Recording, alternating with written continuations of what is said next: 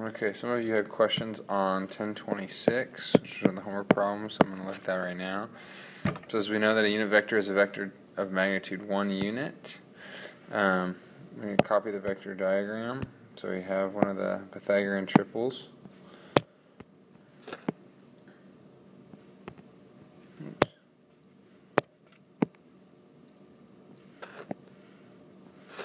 Five by twelve by thirteen.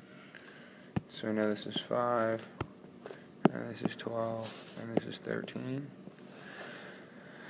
And then it says, um, then draw and label the components for this vector. So this vector has components of 5, comma 12. That's a component for it.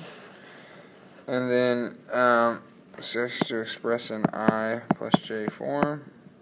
So there's the ij form. And um, if you want to find the unit vector for this, you just divide by the magnitude. It'll be over 13. The reason we do this is because this is equal to 13 over 13, which is just the number 1.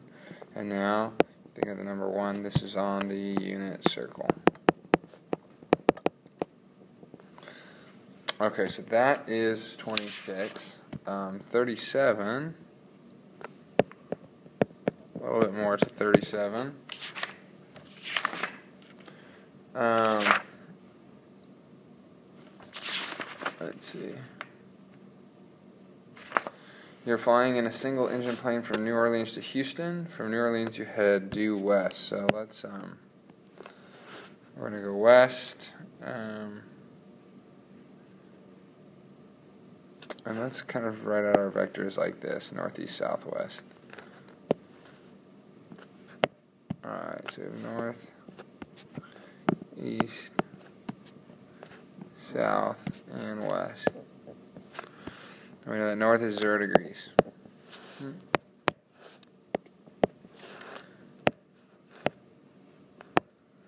Alright, so we know that um, New Orleans, you head due west towards Houston.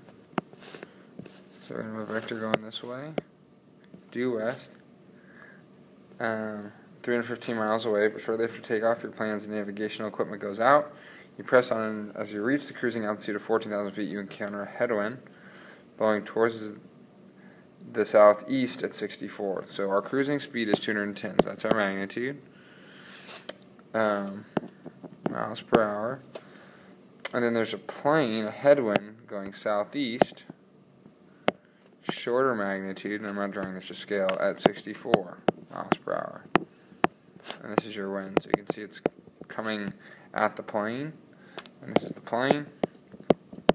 It says the wind will affect the plane's speed and direction. What are the true speed and heading of the plane? So, um, if we figure this out, this is actually 36, but we'll do 36 first and then look at 37.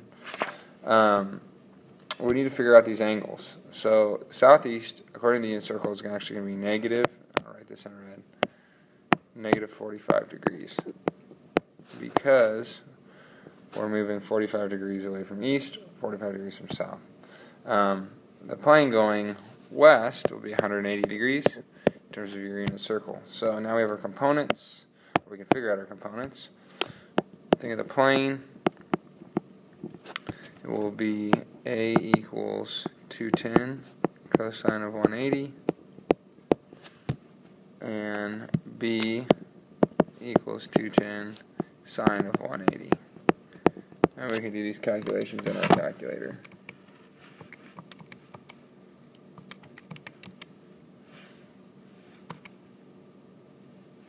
So we get negative 210 and 0, which should make sense. Um, because we're just going west. And then for the wind, 64 miles an hour at a, a standard angle of negative 45.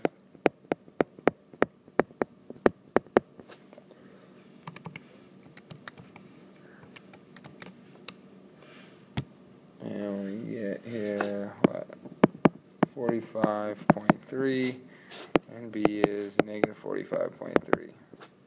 So our components here, 45.3, negative 45.3. Now once we have our component forms for both, we're going to add these together.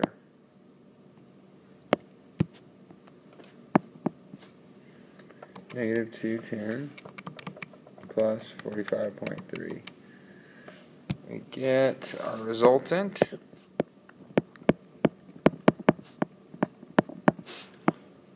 Is negative 164.7 and negative 45.3. We draw this triangle. It's going to look something like this. negative 164.7 and negative 45.3 and we need to figure out angle we need to figure out our magnitude so we can use Pythagorean theorem to figure out our magnitude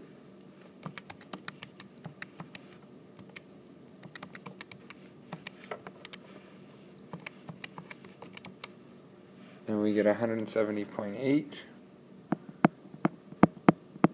miles per hour. That's our true speed. And then our bearing, take the tan inverse, tangent of negative 45.3 over negative 164.7. Take tan inverse of both sides.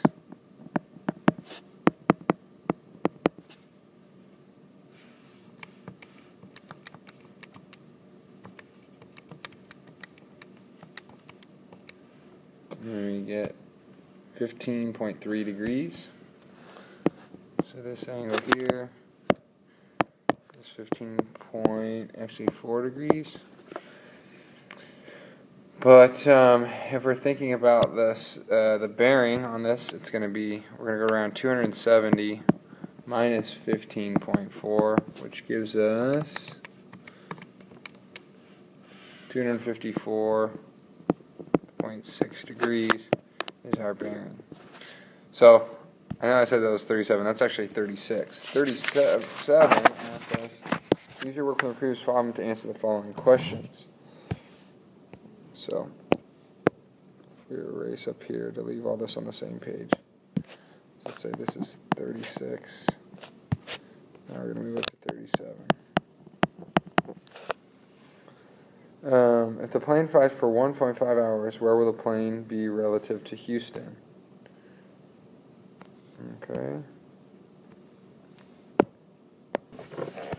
So looking at it, um, B and C, I'm not really going to go over. I mean, we could look at it, um, but it's not going to be super important for your project or your test. So really, A, if you just look at A, if this is where Houston is,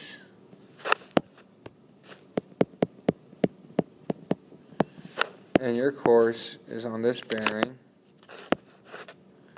because of the wind, the plane flies for 1.5 hours, going at a speed of 170.8 miles an hour. Um, we can figure that it's 315 miles away. So let's say this is 315 miles.